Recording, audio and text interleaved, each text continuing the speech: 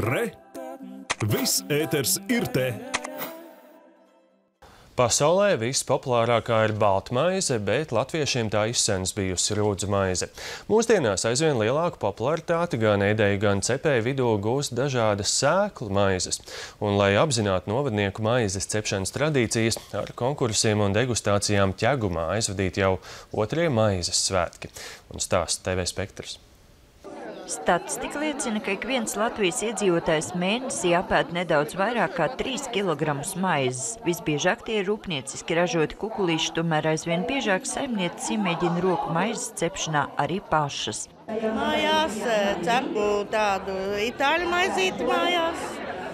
Un eh, rupmaizi mēģināju, bet vēl nesanāk.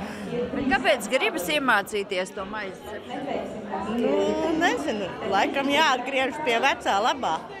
Jau otro reizi ķeguma novadā tiek rīkot arī maizes godi, kuros drosmīgākās saimnieces savu veikumu izliek degustācijai. Maize tika izzināta kā vērtība, kā, kā mūsu latviešu tradīcija. Šogad mēs e, domājām, ka e, ir maizes cepēji ķegumā, e, kas ir no jauna sākuši cept cep maizīti, un tāpēc mēs gribējām apzināt arī tos, Pašlaik novadā apzināts ap 20 maizes cepējs, bet to skaits aizvien pieaug. Viena no jaunpienācējām ir Jana, kura maizīt cepus tikai otro reizi mūžā. Kas bija visgrūtākais visā tajā procesā?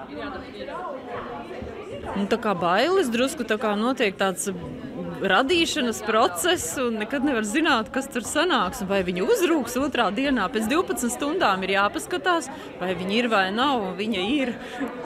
Degustācijā galvenokārt dominēja sēklu un ogu maizes. Visvairāk tādu ir Intei, kur ideja par sēklu maisījumu pievienošanu mīklai atvedusi no Vācijas.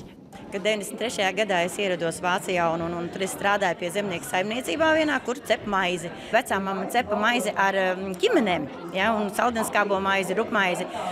Vācija man tieši iemācīja ar sēkliņām visdažādākajām. Un tad es jaucu visādi sēkliņas iekšā. Senāk galvenā maize Latvijā bija rupmaize. 2009. gadā tradicionālā latviešu rudzu rupmaize iekļaut arī Latvijas kultūras kanonā. Sandra Leitāna, Andris Pāns, TV Spektrs.